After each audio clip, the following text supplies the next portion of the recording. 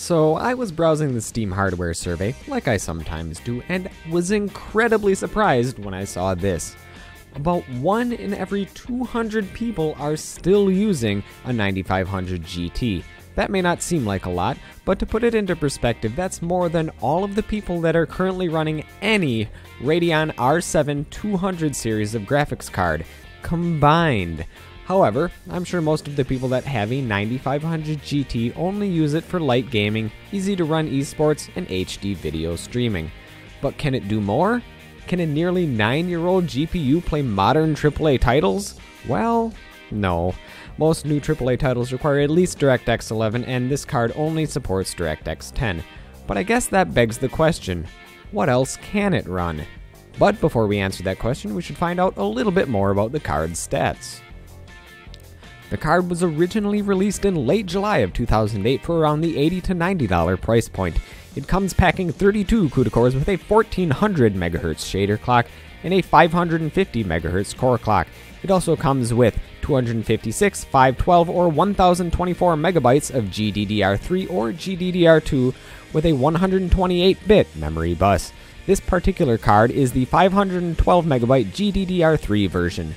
With only a 50 watt TDP, this card runs easily and cool on basically any system. In fact, it runs so cool that some cards, like this one, came passively cooled.